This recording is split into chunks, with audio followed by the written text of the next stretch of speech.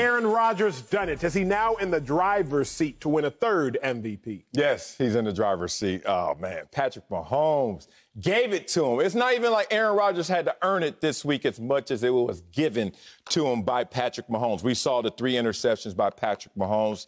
And I guess the way I can really imagine this is you ever go to a car show, you know, growing up? Mm-hmm. You from Texas, you've been in some car, Dub car shows. Shout out to Dub, what it do? And um, you're on the way to the car show. Now, you're supposed to have your car towed there, you know, and, and indoor towing. You ain't supposed to have it just on the back of some U-Haul hitch wagon or something. You're not supposed to drive it as well. But it seems like yesterday, Patrick Mahomes decided, I'm Patrick Mahomes. I just ride up there to the car show and win the car show. Problem is, on the way to the car show, got scraped up a little bit, got dinged up a little bit. People looking at the car like, oh, that's fresh. That's Patrick Mahomes. Duh. Wait a minute. What's that? What's that? What's that? We saw scrapes on the car that we've never seen before or anticipated. He had two picks before yesterday. He had three yesterday in total. Guess what that did to Russell Wilson when he went through his slump of turnovers? Took him out the conversation. Why would Patrick Mahomes be exempt from the same conversation? You look at Aaron Rodgers, it's simple. Aaron Rodgers is looking at a, a year where he's probably going to lead the league in passer rating. You look at him right now having the edge in touchdowns. He has the stats to go up there and say, I am the winner. So it's about numbers and narrative. Ooh, who's going to win that conversation? Because Aaron Rodgers is going to win the numbers category. Who's going to win the narrative, the story, English class? Still Aaron Rodgers. Why?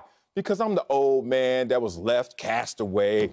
They drafted at my position. Not only did they draft at my position first round, they moved up and used resources we could have used to reload. Instead, they're wasted all of that, and I still am going out there and having an MVP campaign. By numbers, by narrative, and by just simple eye test at the car show, it's Aaron Rodgers. Here's how I'm going to do this argument. I'm going to say that Aaron Rodgers is not in the driver's seat, and I'll do you like this. The, the NFL MVP is the award that I can most closely correlate to the Heisman Trophy, right? The okay. Heisman, the pinnacle of college, NFL MVP, mm-hmm, pinnacle of the mm-hmm, NFL. It's the most, it's the closest correlation. I'm like, if you are Patrick Mahomes, on pace to go 15 and 1. The only quarterback that can look at his schedule and say, We beat every team on this schedule. There is nobody that beat us. Again, what do I mean? The Raiders beat the Chiefs, but the Chiefs went back and beat the Raiders. Mm, You're the only quarterback that. that can say that. You'll be the only quarterback on pace to have 5,000 yards. 5,000 yards plus 40 touchdowns, plus you beat everybody. There is not a team in the NFL that you did not beat this season. There is no way you can sit here and tell me Aaron Rodgers has a better story, nor is Aaron Rodgers in the driver's seat. The other reason I will say is this, Marcellus. When we think about Patrick Mahomes' worst games this season, um, we can go back to the Raiders game that they lost if you want to say that. He still threw for, I believe, 300 yards, two touchdowns. You can say his three interception game against the Dolphins, again, if you want to say that. Some crazy fluke interceptions and some miraculous plays by the defensive backs. Shout out Xavier Howard. Yes. But you can still say Patrick Mahomes won and Patrick Mahomes threw for 300 plus yards.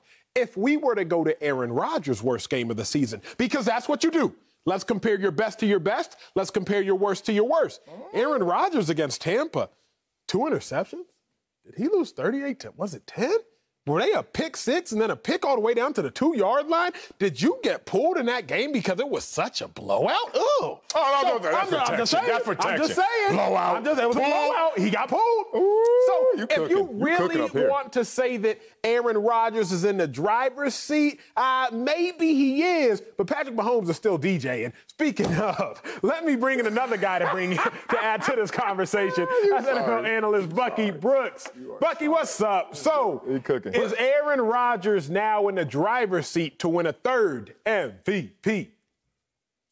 Yeah, so I, I hate to tell you. So earlier today, I got a chance to look at the trophy. And when I was looking at the trophy, they've already engraved Aaron Rodgers' oh, name on it. Oh, Aaron oh. Rodgers is the front runner. It's, it's, it's, over with because, as Marcellus talked about, like there are a couple different ways that you can approach it. You can approach it as, a, how did the player come into the year? How was he viewed? And I think when you look at it, Aaron Rodgers, I mean, they were drafting someone to replace him. He got up off the mat. His team is the number one seed in the NFC. And then when you look at the numbers 39 touchdowns, only four interceptions, passer rating of 119.7. And then when you think about who is he playing with? Oh. I mean, my guy, Pat Mahomes, is playing with an all star team. Mm-hmm. I mean, I mm-hmm. think I could throw a couple touchdowns with Tyreek Hill and Travis Kelce, mm-hmm. Sammy Watkins, and all those guys. I mean, can we name who Aaron Rodgers is playing with outside of Davante Adams? No. I'm waiting. Allen Lazard, MVS, Robert Tonyan, none of those guys. Those guys that we can get off the corner and play at the park. That's who Aaron Rodgers is doing. So he deserves the MVP. And it's hard for me because I've been very critical of Aaron Rodgers, but I just wanted the best for him. He has responded, and so he should get his third MVP. Gentlemen, I, I, like the take, Bucky Brooks, when you want to say, well, Aaron Rodgers is playing with less talented people. I like that take. But then you got to push back. And you got to say, wait a second, has a tight end ever led the National Football League in receiving yards since the merger in 1970?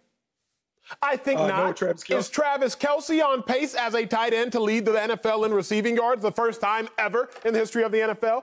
Yes, he is. Is that exclusively because of Travis Kelce's dominance? As much as I love Travis Kelce, I would argue it is not. I would argue that Travis Kelce is a phenomenal player, future Hall of Famer, but Patrick Mahomes is also elevating Travis Kelce to heights we've never seen a tight end reach in the NFL. Not Tony Gonzalez, not Rob Gronkowski, not Jason Witten, not Shannon Sharpe, not no, no, nobody except Travis Kelce. So again, I understand that take. I understand your position. I like that position. But if Patrick Mahomes is allowing his players to exceed heights we've never never even seen in NFL history, then that has to count as well. The other thing I must caution both of you gentlemen is this who do the Chiefs play this week?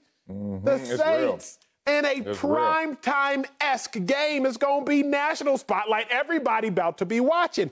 Don't sit up here and tell me that if Patrick Mahomes goes out here with the whole world watching, likely the, the a Super Bowl preview, and has four, five touchdowns, no interceptions. A very likely stat line for Patrick Mahomes. Four touchdowns, no interceptions on a national type of stage.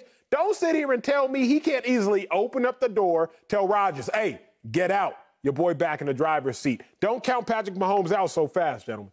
Man, Acho up here cooking today, and I can start smelling it too. Smell like some old ass meat on the grill because Acho is making this stuff crazy. What happened? He just dug himself a hole. He just went down the trail, the path of, hey, you ever seen a tight end play like this? Well, guess what? That's MVP worthy. Nobody wanted. What's next? A fullback? What, what are you going to talk about now? Special teams performance? It's not about that. Let's keep it about who they are, what they're doing, and I could stay there. Let's talk about a quarterback who's leading the league in passer rating and leading the league in passing touchdowns.